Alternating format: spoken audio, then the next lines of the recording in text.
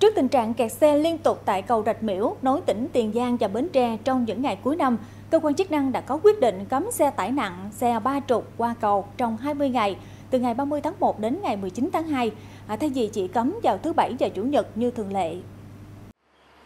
Theo phương án điều chỉnh mới được áp dụng từ ngày 30 tháng 1 đến hết ngày 19 tháng 2, nhằm ngày 20 tháng Chạp đến hết ngày 10 tháng Giêng âm lịch. Các xe tải nặng và xe tải ba trục trên 24 tấn sẽ bị hạn chế qua cầu Rạch Miễu từ 15 giờ đến 20 giờ hàng ngày ở cả hai hướng. Khoảng nửa tháng qua, do lượng xe qua cầu Rạch Miễu tăng cao nên thường xuyên xảy ra ủng tắc. Một trong những nguyên nhân chính là do xe tải nặng khi qua cầu phải chạy với tốc độ chậm khiến những xe sau bị ủng ứ.